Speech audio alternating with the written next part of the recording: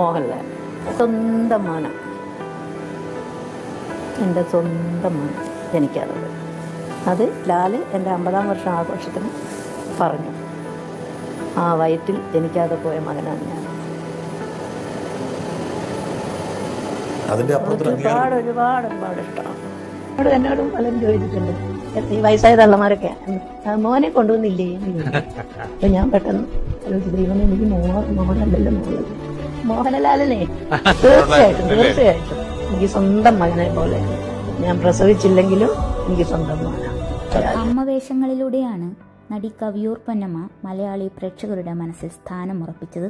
സത്യൻ പ്രേം നസീർ തുടങ്ങി ദിലീപ് അടക്കമുള്ള മലയാളത്തിലെ ഒട്ടുമിക്ക സൂപ്പർ താരങ്ങളുടെയും അമ്മവേഷം ചെയ്തിട്ടുണ്ടെങ്കിലും സ്ക്രീനിൽ ഏറ്റവും കൂടുതൽ ഹിറ്റായിട്ടുള്ളത് മോഹൻലാലിന്റെ അമ്മവേഷങ്ങൾ ചെയ്തപ്പോഴാണ്. ഇരുവരെയും സ്ക്രീനിൽ കാണുമ്പോൾ യഥാർത്ഥത്തിൽ അവർ അമ്മയും മകനും തന്നെയാണെന്ന് വെറുതെയെങ്കിലും നമുക്ക് തോന്നിപ്പോകും. കിരീടത്തിൽ ഒരു സീനുണ്ട്. എനിക്ക് ഡയലോഗ് പറയാൻ വയ്യാണ്ടിരുന്നു ഞാൻ വിങ്ങി ഒരു ഇതാണ്. വീട്ടിൽ കയറി വരുമ്പോഴത്തേന് ചേട്ടൻ എനിക്കിവിടെ വേറെ മക്കളുണ്ട്. ഇറങ്ങി പോടാറുണ്ട് എന്നെ ഒന്ന് നോക്കിയിട്ട് തിരിഞ്ഞു നടക്കും അപ്പോൾ ഞാൻ പുറകെ ഓടി വന്നിട്ട് മോനെ നീ എങ്ങോട്ടാ പോകണമെന്നോ എന്തോ ചോദിക്കും. അപ്പോൾ എല്ലാവരും പറയുന്ന ഒരു കാര്യമാണ് ജീവിതം എന്നെ വിട്ടു പോകുന്നു. എന്റെ കയ്യിൽ നിന്ന് വിട്ടു പോകുന്നു. മോനെ എന്താ ഇത്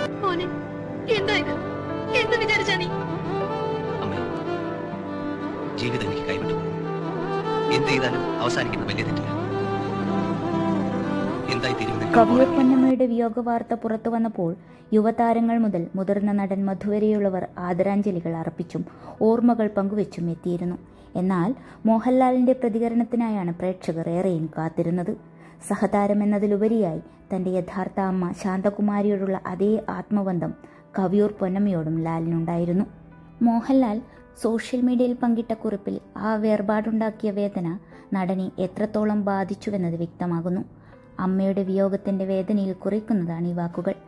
പെറ്റമ്മയോളം സ്നേഹം കഥാപാത്രത്തിനും ഞാനെന്ന വ്യക്തിക്കും എക്കാലത്തും പകർന്നു തന്ന എന്റെ പ്രിയപ്പെട്ട പൊന്നമ്മ ചേച്ചി.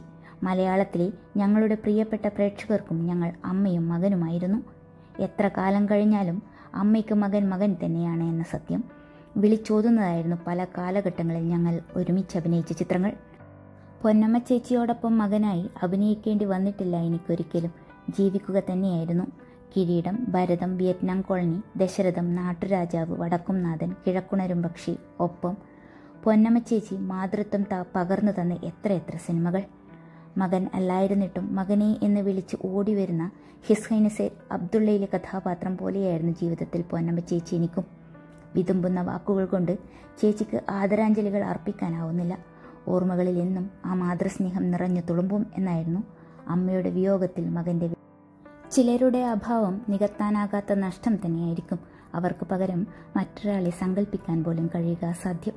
സിനിമയിലെ അമ്മയെന്ന് പറയുമ്പോൾ തന്നെ ആളുകൾക്ക് ഓർമ്മയിൽ വരുന്ന മുഖം കവിയൂർ പന്നമ്മയുടെ തന്നെയായിരിക്കുമെന്നാണ് ആരാധകരിൽ ഒരാൾ മോഹൻലാലിന്റെ കുറിപ്പിന് താഴെ എഴുതിയ കമന്റ്. നിരവധി പേർ കവിയൂർ പൊന്നമ്മയ്ക്ക് ആദരാഞ്ജലികളും നേരുന്നുണ്ട്. മോഹൻലാലിന്റെ കുടുംബവുമായും ആത്മബന്ധം സൂക്ഷിച്ചിരുന്ന ഒരു നടി കൂടിയായിരുന്നു പൊന്നമ്മ.